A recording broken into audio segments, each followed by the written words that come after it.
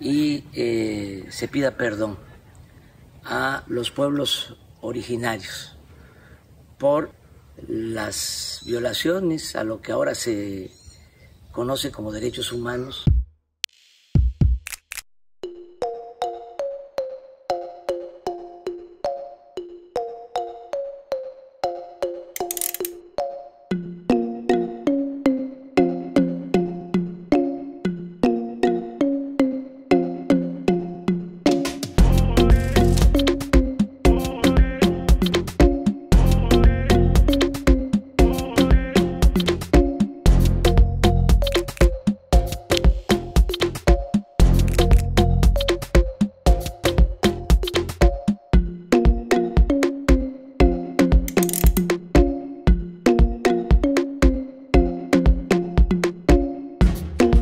N'ont pas été tués parce que de toute façon, euh, des Espagnols, il y en avait euh, moins de 1000. Vous imaginez tuer des, des, des 5 000, 50 000 ou autres, c'est impossible, même physiquement.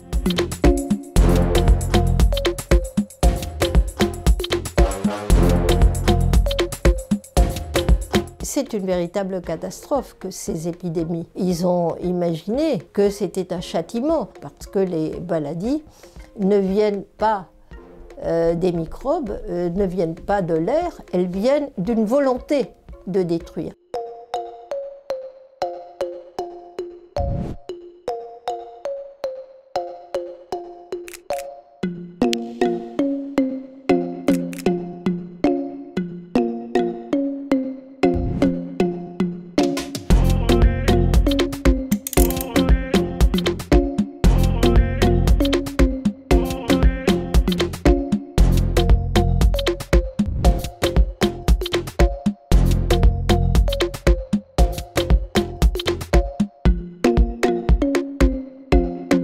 Y a des choses qui ont euh, beaucoup étonné. Bon, il y a les, chevaux, bien sûr. Ils sont très différents. Il y a des blonds, il y a des, gens plus noirs. Ils sont surtout euh, des gens euh, habillés avec des espèces de cuirasses rigides qui font extrêmement peur.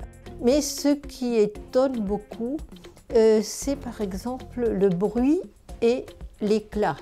Le bruit des, non seulement des, canons, mais le bruit des trompettes. Et ça, ça fait très peur.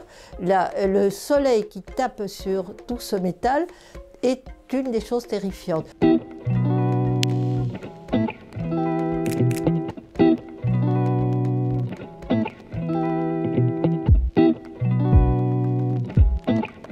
Il a compris que tout le monde n'était pas d'accord avec les, les, Aztèques.